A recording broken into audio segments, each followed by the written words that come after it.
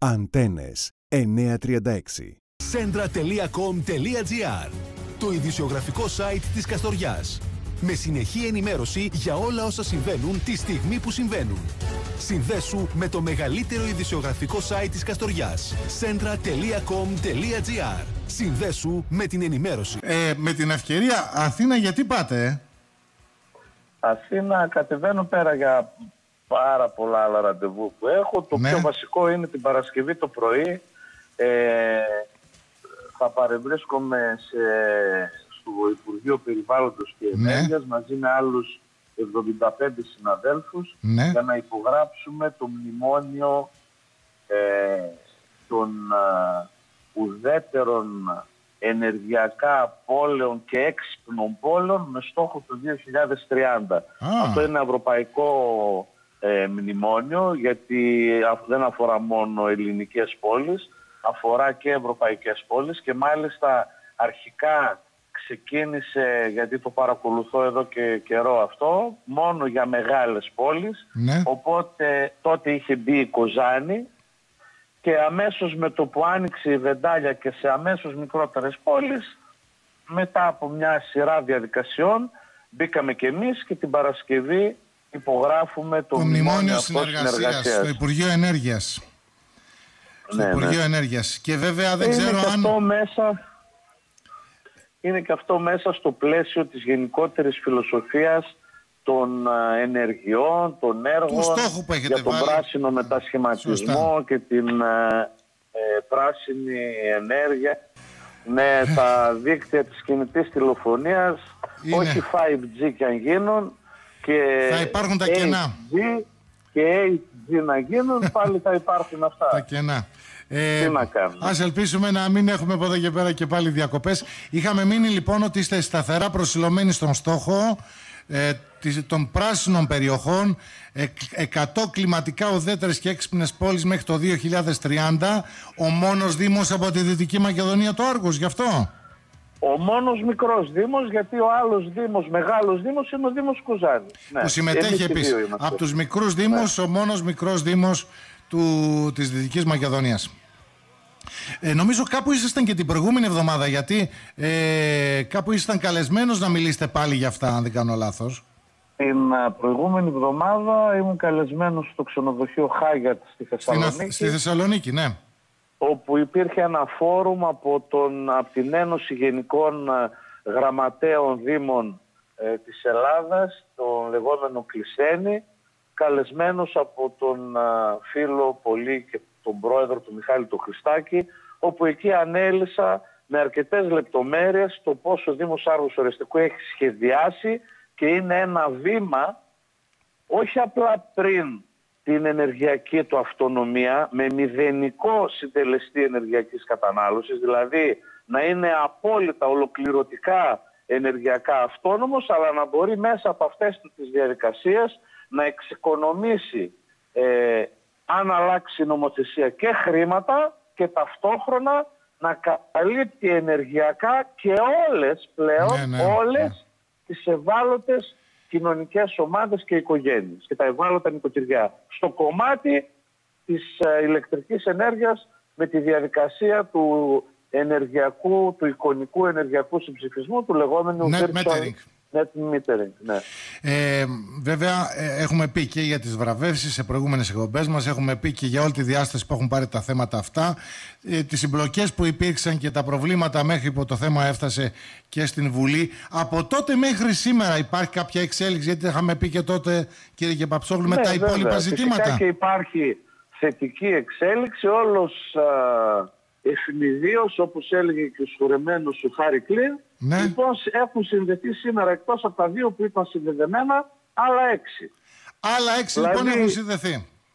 Ναι, χωρίς να αλλάξει κάτι στο δίκτυο του ΔΔΕ. Ξαφνικά λοιπόν βρέθηκε ηλεκτρικός χώρος και η διαβεβαίωση είναι ότι θα συνδεθούν και τα υπόλοιπα. Άρα λέω και εγώ τώρα, εκ του πονηρού σκεπτόμενος, ότι γιατί να μην συνδεθεί και το φωτοβολταϊκό πάρκο στους αμπελόκηπους και ο υδροστρόβιλος και να γίνουμε τελικά ο πρώτος Δήμος σίγουρα ε, στην Ελλάδα και μάλιστα ας αποτελέσει έναν πρότυπο Δήμο στην περιοχή όπου ξεκίνησε βία η δίκαιη, δίκαιη, λένε δίκαιη, οι περισσότεροι από τους συναδέλφους που ανήκουν στους ενεργειακούς δήμους και είχαν άμεση εμπλοκή με το λιγνίτη, στην μη δίκαιη λιγνητική μετάβαση στη μετά λιγνίτη εποχή. Σωστά.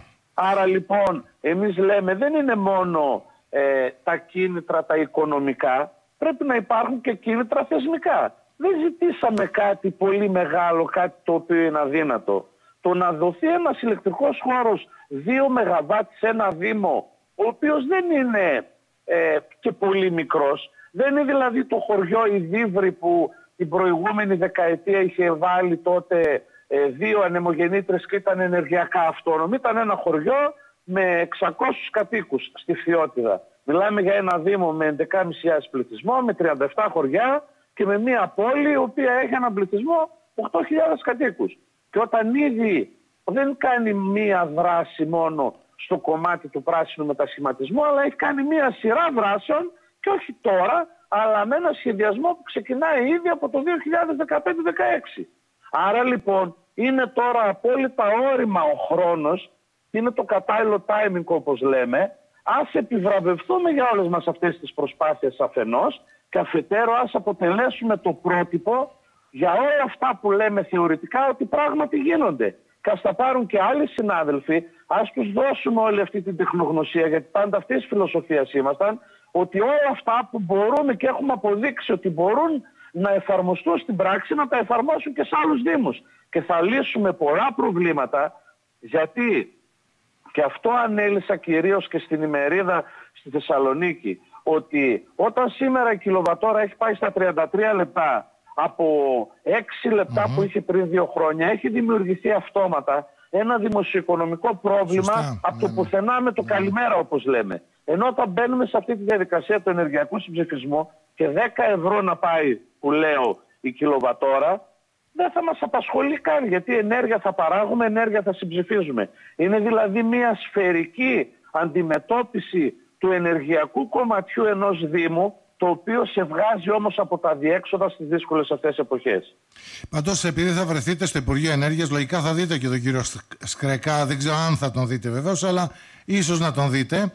Ε, να τα συζητήσουμε λίγο αυτά ε, πρόσωπο με πρόσωπο. Πραγματικά είναι στον, στο κατάλληλο εγώ Υπουργείο θα έλεγα, Εγώ θα έλεγα όχι μόνο με τον κύριο Υπουργό αλλά και κατά την επίσκεψη του κυρίου Πρωθυπουργού ε, την επικείμενη γύρω στις 8-9 του μήνα, δεν κάνω λάθος, ναι. στη Δυτική Μακεδονία, εγώ θα επιδιώξω να τα αναδείξω αυτά τα θέματα, γιατί τα είχα αναδείξει ε, και πριν ένα χρόνο και κάτι μήνες, Νοέμβριος του 2021, αν θυμάμαι καλά ήταν, Αγίου mm Στυλιανού, στην ε, Κοζάνη, στο αμφιθέατρο ε, στην περιφέρεια, τα ίδια θέματα είχα πήξει, όπως επίσης και το κομμάτι του φράγματος Νεστορίου, το οποίο τελικά θεωρητικά βρίσκεται σε, μια, σε έναν καλό δρόμο. Βέβαια μέχρι και σήμερα δεν έχουμε ακούσει κάτι και δεν θέλω να έχω αρνητική σκέψη. Γνωρίζετε πολύ καλά ότι πάντα έχω θετική σκέψη και με την ίδια θετική σκέψη βλέπω και αυτό.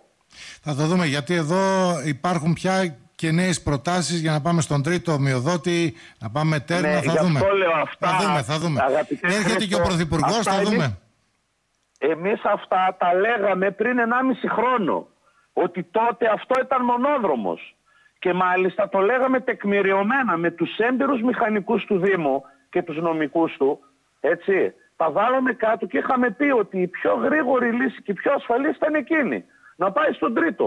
Τότε να μην θυμόμαστε που πήγαμε δύο-τρει φορές πήγαινε έλα στην Αθήνα. Εκείνο το ταξίδι στην Αθήνα, εκείνο το ταξίδι, ναι. Να κάνουμε χιλιόμετρα να μας ανακοινώσουν ότι εκκινείται η επανεκκίνηση των διαδικασιών για την επανεκκίνηση του φράγματος. Έτσι. Και Δεν θα... θέλω να τα θυμάμαι. Και ότι θα φτιάχναμε και μια ε... τριμελή επιτροπή. Ακριβώς.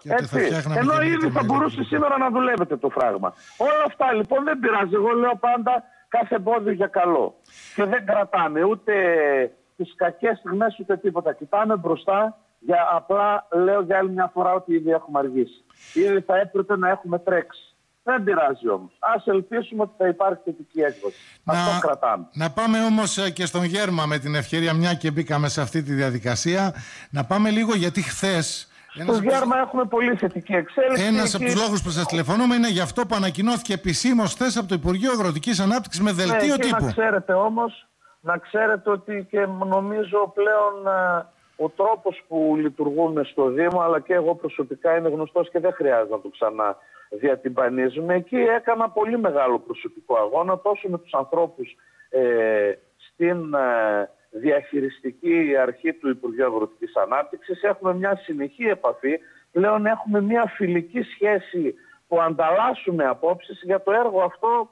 Τέλος πάντων θεωρώ ότι έχω βάλει και εγώ ένα λιθαράκι για να μπορέσουμε να ξαναφτάσουμε στην ε, επαναδημοπράτησή του με την τροποποίηση πλέον και αύξηση του προϋπολογισμού με περίπου 370.000 ναι. αν θυμάμαι καλά. Στις 10 του μήνα κλείνουν οι προσφορές, 17 Φλεβάρι θα έχουμε το μειοδότη. Εδώ να πούμε κιόλα και δεν είπαμε και καλό μήνα. Και καλό μήνα βέβαια, βέβαια, βέβαια, και καλό να μήνα. είμαστε καλά. Ε, να είμαστε ε, καλά για τον, για τον Φεβρουάριο, ο οποίος τι θα μας περιμένει το Φεβρουάριο. Ξεκινήσαμε με πολλά μείον σήμερα πάντως. Με πολλά μείον ε. και σε όλη τη διαδρομή είχε πολύ κρύο. Ναι. Θα δούμε. Δεν πειράζει όμως. Τι να κάνουμε, έχει μείον, η μέρα μεγαλώνει. Θεωρώ ότι ό,τι και να κάνει από εδώ και πέρα... Καλοκαίρι θα βλεβήσει. Καλοκαίρι θα βλεβήσει. Είμαστε στην, στο τελείωμα του, του χειμώνα.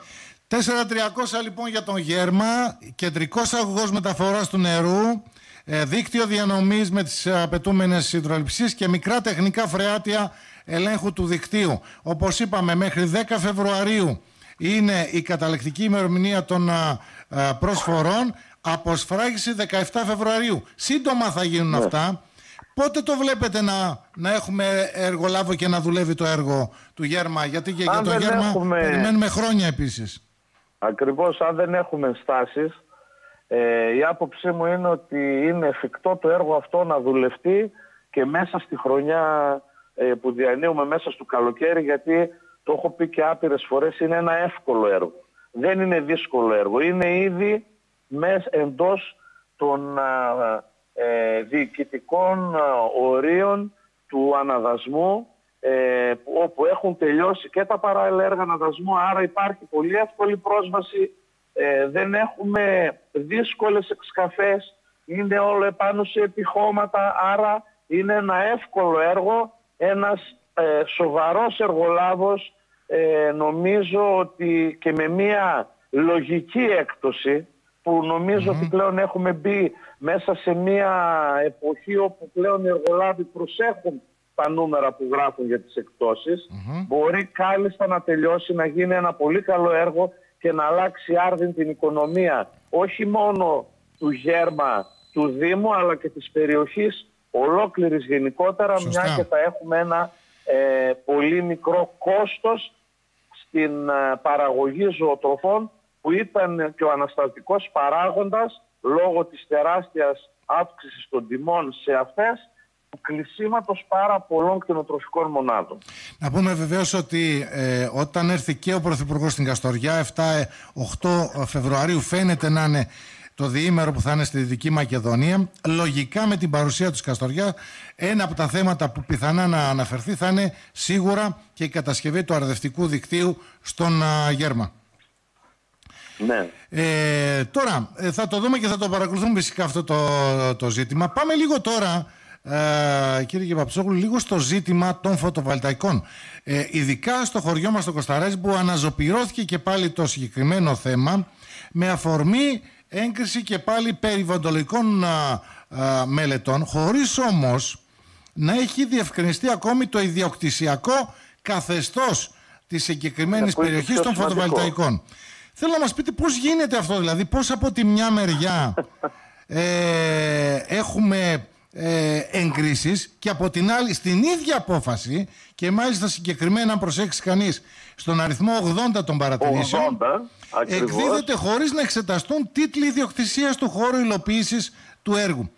Ε, μοιάζει λίγο παράξενο σε εμάς. Δεν ξέρω αν έτσι είναι η διαδικασία, εσείς ξέρετε, αλλά ε, εμάς είναι... μας μοιάζει παράξενο δεν είναι πρώτη φορά που το βλέπουμε. Δηλαδή, μισό λεπτό, εγκρίνεις ε... εσύ να κάνεις κάτι σε ένα χωράφι που μπορεί να είναι δικό μου; Δηλαδή, πώς γίνεται αυτό το πράγμα; Ναι, ακριβώς. Και όταν έρθει η διαδικασία ε, να γίνει εγκατάσταση, έρχεται ο φαινόμενος παραγωγός, ε, Ναι. του λέω εγώ ότι δεν θέλω. Και πάει όλη η διαδικασία στράφη. Και για ποιο λόγο να γίνονται όλα αυτά λοιπόν και να αναστατώνονται Γιατί περιοχές; ευελπιστούν, όχι, γιατί ευελπιστούν Ναι. ότι με διάφορους τρόπους, Ναι. θεμητούς και μη, πιθανόν να μπορούν να φέρουν εις πέρας όλη αυτή την επένδυση, γιατί το έχω ξαναπεί, είναι ένα πολύ δεαλισ, δεαλ- ε, ε, π- με πολύ Δελεαστικό. μεγάλο δέλεαρ, Ναι. ναι, δελαστικό ε, αγρόκτημα επάνω του παλαιού Κωνσταραζίου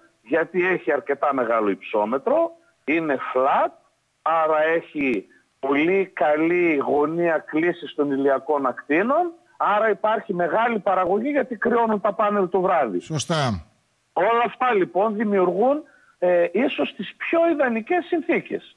Άρα λοιπόν έρχεται η εταιρεία, αυτή η εταιρεία η συγκεκριμένη, η Wind, να λέμε δεν έχουμε τίποτα κρυφό, άλλωστε, Μα είναι άλλωστε όλα βγήκε η απόφαση. δημοσιευμένα. Ναι, δεν είναι κάτι. Στη διάβγεια κιόλας. Η, η συγκεκριμένη εταιρεία είχε αιτηθεί και πριν ε, τρία χρόνια τα ίδια. Και θυμάμαι καλοκαιριάτικα τρέχαμε με προσφυγές στη ΡΑΕ για το τι σημαίνει... Ήταν η τότε που είχαν γίνει και εγκατάσταση για κάποιες όλα αυτά. κινητοποιήσει στο Κωνσταράζι, αν δεν κάνω λάθος. Έτσι δεν είναι; Ακριβώς. Ναι, ναι. Και τότε μάλιστα δεν είχαμε ε, μπει ακόμη στο ιδιοκτησιακό, αλλά λέγαμε ότι όλα αυτά από τη στιγμή που είναι δημοτικά χερσολίματα θα δημιουργήσουν και ένα πολύ μεγάλο πρόβλημα στην λειτουργία, την νόμιμη λειτουργία των κτηνοτροφικών εγκαταστάσεων γιατί τμήμα αυτού δίδεται ως βοσκότοπος είτε ουσιαστικός είτε ως Σωστά. εικονικός Σωστά. για να μπορούν να παίρνουν τις εξωτικές αποζημιώσεις οι κτηνοτρόφοι.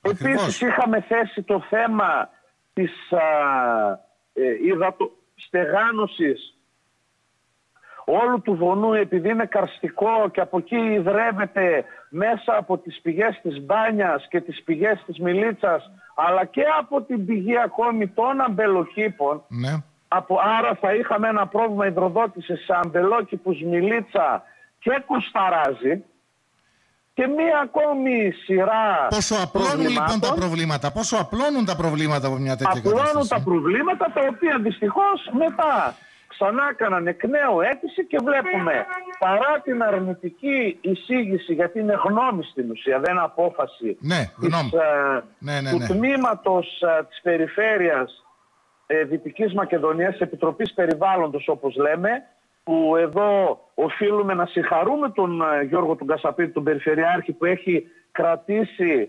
στεναρά αυτή τη στάση ότι αν δεν τελειώσει το χωροταξικό των φωτοβολταϊκών δεν θα παίρνει απόφαση η Επιτροπή ποτέ ξανά με θετική εισήγηση. Όχι δηλαδή με το καλημέρα ο καθένας επειδή είναι δημόσια έκταση είτε δημόσια δασική είτε όχι να πηγαίνει να βγάζει μια άδεια παραγωγής και να γεμίζουμε να ξυπνάμε και να βρίσκουμε παντού γύρω μας είτε ανεμογεννήτρες είτε φωτοβολταϊκά Σωστά. και ακόμη και σε παραγωγική γη με εκείνο το 4% που τέλος πάντων μετά τον Αύγουστο έγινε 2%. Εγώ θα έλεγα 0. Δεν είναι δυνατόν να έχουμε παραγωγική γη με αναδασμό, με αρδευτικά, να έχουν ξοδευτεί χρήματα είτε από την Ευρωπαϊκή Ένωση είτε χρήματα του ελληνικού λαού και να πηγαίνουμε να βάζουμε φωτοβολταϊκά. Η έκταση Και αυτή. μετά κύριε- να προσπαθούμε- η- Ναι. Η έκταση να αυτή είναι. προσπαθούμε να βρούμε να κάνουμε εισαγωγή από βασικά είδη διατροφής και να τα πληρώνουμε σε διπλάσια ή τριπλάσια τιμή. Δεν κάνουμε τίποτα έτσι. Ε, η συγκεκριμένη Ακριβώς. έκταση, κύριε Παψόγλου, είναι δηλωμένη από τον Δήμο στο κτηματολόγιο; Φυσικά. Είναι Φυσικά. δηλωμένη. Φυσικά. Και όχι μόνο η συγκεκριμένη.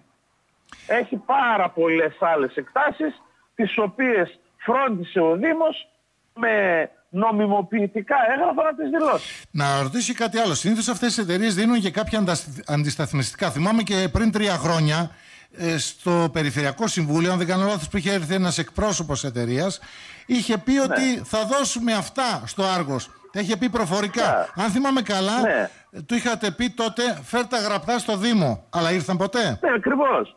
Ναι. Ήρθαν ποτέ γραπτά; Ούτε είναι, ούτε είναι ε, σοβαρή, λέω εγώ, εταιρεία κάποια, η οποία πιθανόν να έρχεται σε επαφές, γιατί αυτά μαθαίνουμε, με τους κατατόπους προέδρους ας πούμε. Μάλιστα, Τι είναι το ο θυμόμαστε πρόεδρος κι αυτό. μιας τοπικής κοινότητας; Το θυμόμαστε Είναι κι αυτό, το ναι. αφεντικό του χωριού; Ας βγει να το πει. Όταν υπάρχει μια συγκροτημένη διοικητική δομή που λέγεται Δήμος, εκεί δεν υπάρχουν πράγματα κάτω από το τραπέζι. Όπως έχουν συνηθίσει κάποιοι να τα πράττουν, γιατί τα έχουμε δει στην πορεία. Μιλάμε με συγκεκριμένα. Εμείς δεν είμαστε κατά των επενδύσεων. Αλλά πάνω απ' όλα με κύριο γνώμονα το συμφέρον των δημοτών πρώτα απ' όλα και το συμφέρον του Δήμου.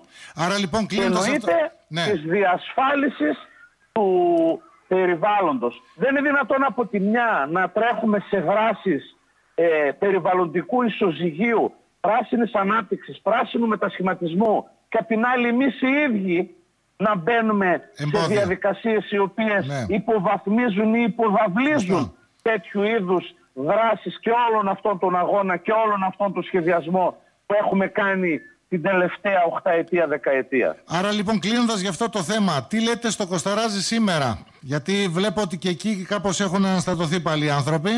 να μην αναστατώνονται, να είναι χαλαροί και να ξέρουν ότι ως ε, νόμιμα εκλεγμένος θα πω, σέβομαι την ψήφο, σέβομαι την εμπιστοσύνη των συνδημοτών, όπως το έκανα και το έχω αποδείξει και ευχαριστώ που το αναγνωρίζουν οι συνδημότες μου από το 11 έως και σήμερα, το ίδιο θα εξακολουθήσω να κάνω και από εδώ και πέρα. Και να θυμίσω και ήσουν και εσύ Χριστοπαρών Ναι. σε μια αντίστοιχη περίπτωση τότε με κάποια στρατόπεδα Ναι, αν ναι, θυμόμαστε ναι, ναι, καλά ναι.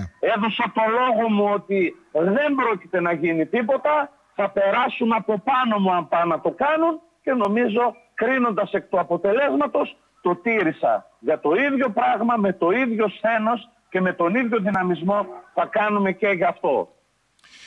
Λοιπόν, κύριε Δήμαρχε, μένουμε σε αυτά. Ευχαριστούμε πολύ. Καλό υπόλοιπο δρόμο για την Αθήνα και καλά αποτελέσματα στο Υπουργείο Ενέργειας. Ευχαριστώ πολύ. Ευχαριστώ να σε καλά. Καλή Χριστό μου, σας να είσαι ημέρα καλά. από την Καστοριά. Καλό Καλημέρα δρόμο. και στους ακροατές Καλό και δρόμο. καλό μήνα και πάλι. Καλό μήνα, καλό μήνα. Αντένες 936. Centra.com.gr Το ειδησιογραφικό site της Καστοριάς. Με συνεχή ενημέρωση για όλα όσα συμβαίνουν τη στιγμή που συμβαίνουν. Συνδέσου με το μεγαλύτερο ειδησιογραφικό site της Καστοριάς. Centra.com.gr Συνδέσου με την ενημέρωση.